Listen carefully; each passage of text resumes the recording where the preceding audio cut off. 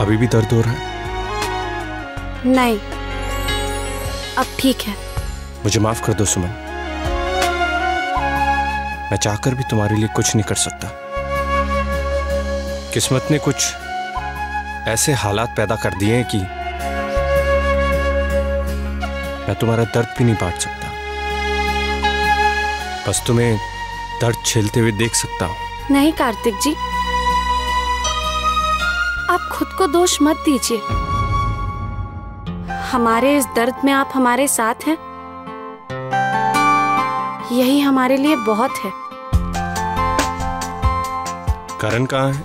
माँ ने उन्हें अपने पास बुला लिया है ताकि हम आपसे मिलने आ सकें। वैसे आपने हमें यहाँ क्यों बुलाया? कुछ देना चाहता हूँ तुम्हें।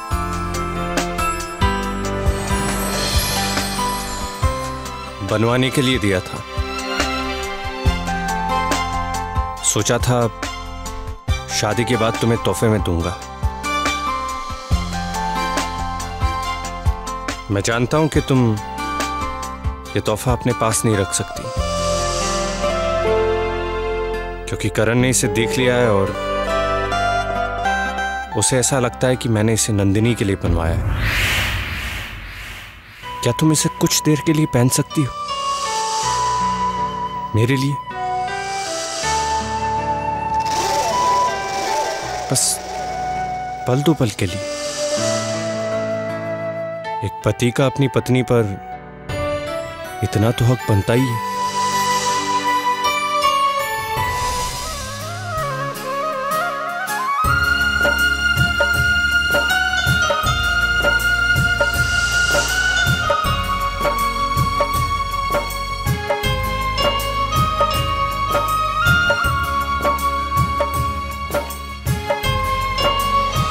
कार्तिक जी, अब हमें नीचे चलना चाहिए। दो मिनट। बस दो मिनट तुम्हें जी भरकर देखना चाहता हूँ।